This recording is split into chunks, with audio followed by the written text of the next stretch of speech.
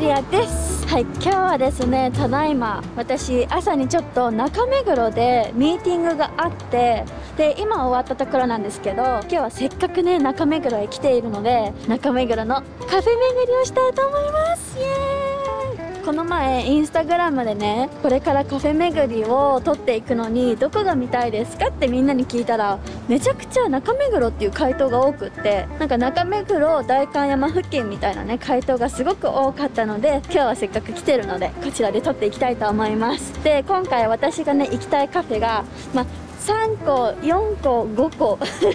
たくさんあったのね。そうそのくらいあったんだけどちょっと今日は絞ってその中のね3店舗にね今から行ってみたいと思います。で今日行くのはどこも初めて行くところなんですよ。だからそのねちょっと行った感想とかをねお伝えしながら美味しいドリンクを飲んでいきたいと思います。ということで早速1店舗目に行きましょう。楽しみ。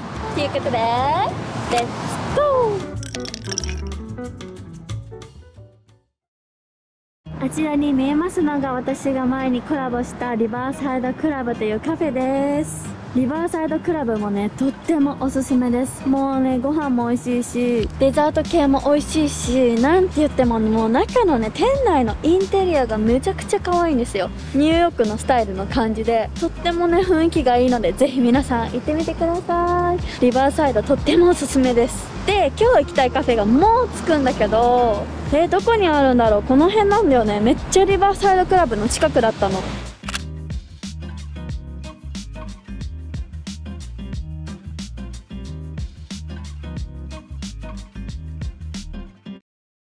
ラテいただきます。ちょっと飲んじゃったけど。めっちゃ美味しいここのラテすごいクリーミー。飲みやすいラテって感じで。めちゃくちゃ美味しい。私がねカフェでねこれがあったら絶対頼むんだけどこれビスコッティ。私ビスコッティ大好きなんだけどこちらをラテにこんな感じでディップして少し温めるとこのね生地がね柔らかくなるんだけどそれがすっごくね美味しいんですよ。だからもう少し置きます。いただきます。うんうんめっちゃ美味しい。このビスコッティなんかめちゃくちゃ美味しい。結構ザクザクめなんだけどやっぱラテで溶かしたから柔らかくなっててめっちゃ美味しい。朝ごはん食べてなくってこれが今日の初めてのご飯なんだけどご飯っていうか食べ物。めっちゃ美味しく感じる。ここのカフェの説明してなかったんだけどここのカフェの名前がコムって読むのかな？で今回私ね中目黒っていうよりかは池尻大橋の方から歩いてきててで今から少しずつ中目黒駅に近づいていく感じなんだけどここは結構ね中目黒駅から歩いたら13分くらい歩くかな？っていうところにあります。なんだけど最近できたばっかりのカフェですごいねインスタで見てめちゃくちゃおしゃれだなと思って気になってたの。で席数はそんなにないんだけどなんか結構ギャラリーみたいになってて今はねお正月にあの玄関に飾るような飾りとかが飾られててそれも売ってるらしいんだけどそんな感じのギャラリー兼カフェになってます。だからめちゃくちゃ店内もおしゃれです。なんかちょっと無機質な感じなんだけど外にはこんな感じで木のベンチみたいのがあったりしてとても可愛いです。大人数にはおすすめしないけど2人とかで来るにはぴったりな感じのカフェになっております。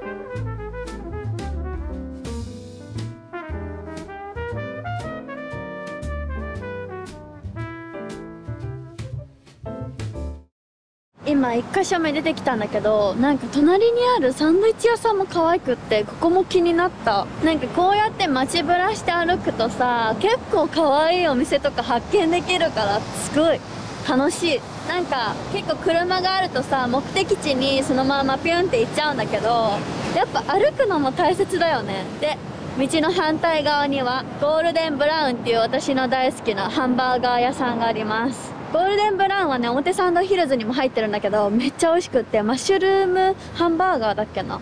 それが特にお気に入りなんだけど中目黒って楽しいね。いろんなお店がある。今から歩いて2店舗目へ向かいたいと思います。こちらのスターバックスリザーブロースタリーまだすごい人が混んでる。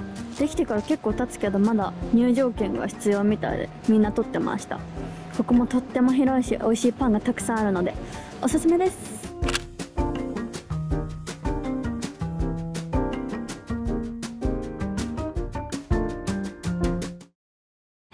ことで2店舗目がこちらです。じゃーん。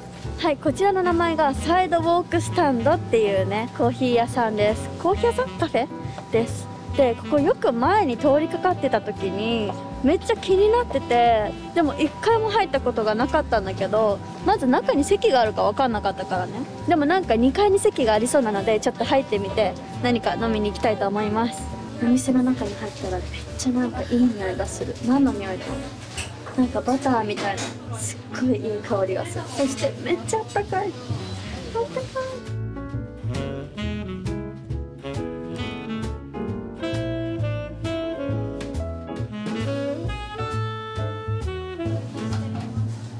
い。はい。ドリンク買ってきました。さっきもラテだったのに今回もラテにしました。今回はねオーツラテにしたんだけど結構小さめだから簡単に飲めちゃいそうな感じで。あったかいです。ホットにしました。でなんか2階の席があるんだけど席数が結構少なくって座れなかったのでまた外のねベンチに座ってます。でここにもねなんか置くところがあったりしてなんか立ち飲みっていうのかな。ちょっとでも飲める席がいくつかあります。だからちょっと春とかは気持ちいいかもしれない。桜がね咲きますのでここで。じゃちょっといただきます。まあねカフェ巡りだからねいっぱい飲んじゃうのは仕方ないですよね。いただきます。おうん結構濃い。エスプレッソが濃い感じがする。さっきのがめっちゃクリーミーだったからそう感じるのかな。うん。結構苦味のある感じでなんか大人なラテって感じで美味しいです。店内にクッキーとかなんか美味しそうなスイーツもちょっとあったのでちょっとぜひ皆さん食べてみてください。そうさっきちょっと私ビスコッティを食べちゃったからね。後悔控えてます。で次行くカフェでまたもう一個ね美味しそうなスイーツ。もうそこはスイーツが専門の店なのでねそこに行って美味しいものを食べたいと思います。今回もう一つ気になってたカフェがあってそれがこちらのじゃーんすごいね白い外観で可愛いんだけどここがねハーホーコーヒーって読むのかな？なんかね JAHO コーヒーって書いてあるんだけどジャーホー？ハーホー？っていうカフェになります。でさっきね私がね外でラテを飲んでいたサイドウォークスタンドからもう本当にすぐ近くのところにあるカフェなんだけどここねなんかアメリカから最近日本に来たカフェらしくってちょっとねランチとかも美味しそうなのでまた今度来たいと思います。じゃあ次のカフェに行きましょう。次めっちゃ楽しみにしてたカフェ。楽しみ。美味しいもの食べれるかな？次が3つ目のカフェになります。さっき私がね行こうと思ってた禁断果実っていうねフルーツサンド屋さんがあったんだけどそこのフルーツサンドがなんと全部売り切れてました。なのでちょっと今回はそこを諦めて別のカフェに行きたいと思います。私こういうのめっちゃ多いよね。ちょうど着いたんですけどたくさん人がいますね。人気なのかな？こちらです。はいこちらテイストセンスっていうねお店に来ました。なんかすごく可愛い感じ。洋服とかなんか雑貨持ってるのかな。こちらで軽くスイーツを食べていきたいと思います。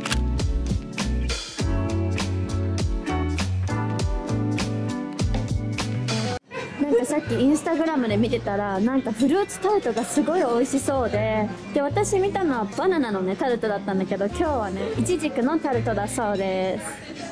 ホットココアとかもあるんだ。でもトゥデイズラテがホットココアになってる。私はこれを食べたいと思います。あとドリンクどうしようかな。ドリンクはこんな感じです。どうしようかな。すごいホットチョコレートとかあるんだこの辺も美味しそうだけど寒いから。えでも自家製レモネードのホットとか美味しそう。これも美味しそう。自家製アップルジンジャーのホット。でももうちょっとラテは飲みすぎだから。えー、どれにしよう。TK もいろいろあるな。迷っちゃう。どうしようかな。どれにしましょう。じゃーんはい。こちら。ホットレモネードにしましたレモンがねしっかり入ってて美味しそう。そしてこちらいちじくタルト。めっちゃ美味しそう。そうなんかバナナタルトも今日あったんだけど売り切れちゃってたみたいなのでこちらのいちじくタルトにしました。隣にアイスも乗ってるしなんかフルーツもちょこちょこあって美味しそうです。いただきます。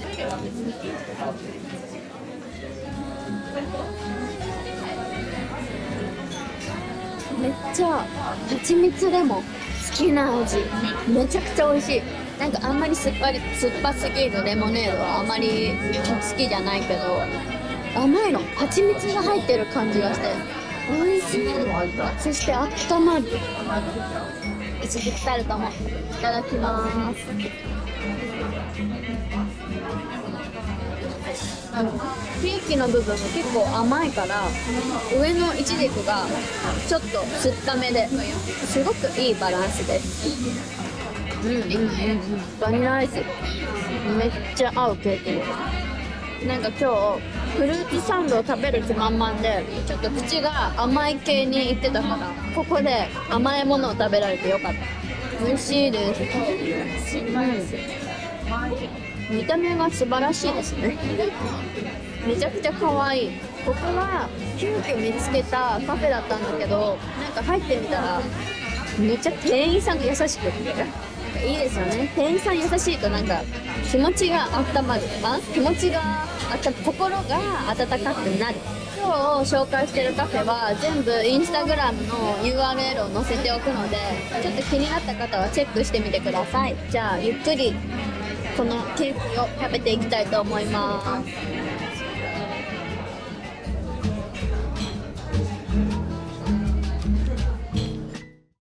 はい今カフェを出てきました。最後にねちょっと私が見たかった洋服屋さんがあってそこに来てます。着きました。ここ。あれ？ここだ。そうここ。かなりかなりっていうね。お店なんだけどここの結構アウターとかが可愛くってあインスタグラムを見て知ってたんだけどちょっといいものがあったらなんかお買い物しようかなと思ってます。じゃあちょっとお店の中見てきます。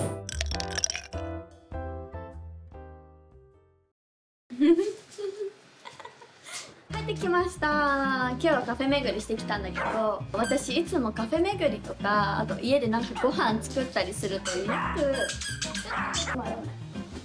そうなんかよく言われるのが コメント欄でね「しるちゃんめっちゃ食べますねみたいなめっちゃ食べたり飲んだりしますねって言われるんだけど毎日こうじゃないんですよ。で結構他のところでバランス整えたり壁めくり大好きなんだけどちょっとみんなにもねこういうとこあるよって紹介したくって行ってるっていうのもちょっとあるんでそうだから確かに食べ過ぎたり飲み過ぎたり見えるけど全然毎回こうじゃないですよっていうのねちょっと言っときます。っていうのとさっき一番最後のあの洋服屋さん行ってたじゃないですか。そこでめっちゃ可愛いジャケットを購入したんですよ。であそこでね私ねなるあそこに行く前にインスタで見ててこのコートあったらいいなーって思ってたのがあったの。だからね試着したらめっちゃ可愛くって買っちゃったのでそちらを最後に紹介します。じゃん。こんな感じのコートです。えめっちゃ可愛くない？なんていうのこれ？チェック？めちゃくちゃ大きなチェックっていうのかな？